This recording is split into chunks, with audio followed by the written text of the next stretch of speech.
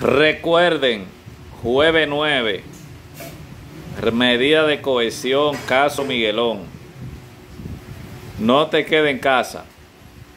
Recuerden estos dimi diretes de verdades, media verdades, mentiras y calumnia. Eso es normal. Pero cuando Dios te va a dar algo, ni San Pedro te lo quita. Si Dios dijo que ese proceso de Nelson, Mollet, Modesto, Luz y todo el equipo y toda la familia, todo el que está y no está, y Dios le va a dar la bendición, se le va a dar.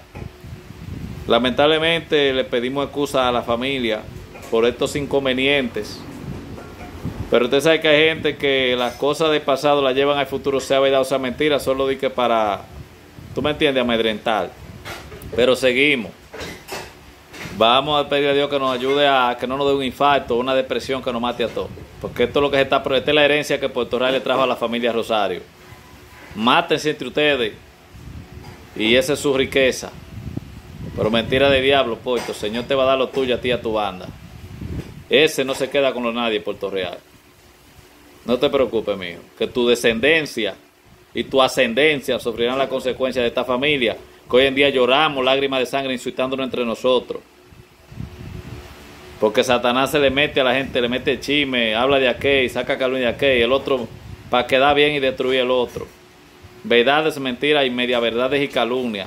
Por una desesperación de ver la realidad de un proyecto. La corona dame de Dios. Y nosotros simplemente somos sirvientes. Si queremos servirle a Dios y no a Satanás.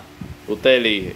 Seguimos. Proyecto internacional. Hay mucho por eso. Por hablar por el primo Villanueva que tengo en operación, creo, en este momento. La NASA te invita jueves 9 temprano, fiscalía. No te quedes querellando.